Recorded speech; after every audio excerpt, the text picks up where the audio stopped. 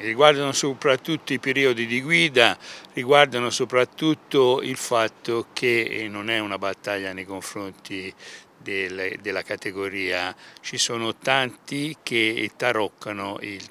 tachigrafo digitale. La manomissione del cronotachigrafo rappresenta una delle violazioni più frequenti anche nel territorio aretino se parliamo di mezzi pesanti. Si tratta infatti di uno strumento noto come scatola nera obbligatorio che memorizza alcune informazioni relative al viaggio effettuato dal camion come velocità, distanza percorsa, eventuali anomalie e soprattutto quanto tempo è stato in moto il mezzo e quanto invece è rimasto fermo. I periodi di guida sono chiari e maniera specifica, però eh, causa mille problematiche che ci sono in corso attualmente, la crisi economica, situazioni, il, il traffico intenso, i conducenti tendono chiaramente a, anche a un non rispetto. Ad Arezzo così è stata organizzata una giornata di studio in materia di autotrasporto dal titolo Il tachigrafo e il controllo del conducente, circa 100 gli iscritti provenienti da tutto il centro Italia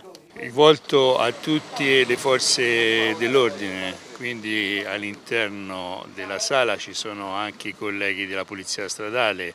e dei Carabinieri, quindi il corso è rivolto a, un aggiornamento diciamo, tecnico per poter operare su strada sul controllo del tachigrafo e dei conducenti dei veicoli eh, diciamo, pesanti. Su questo diciamo, la Polizia Municipale d'Arezzo è abbastanza attenta, infatti due formatori sono proprio del nucleo dell'autotrasporto di Arezzo. Sicurezza stradale quanto sono importanti i controlli anche sui mezzi pesanti?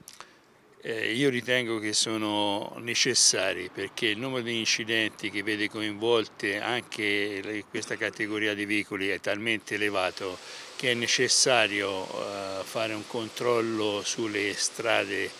eh, anche all'interno del territorio comunale in maniera attenta e scrupolosa.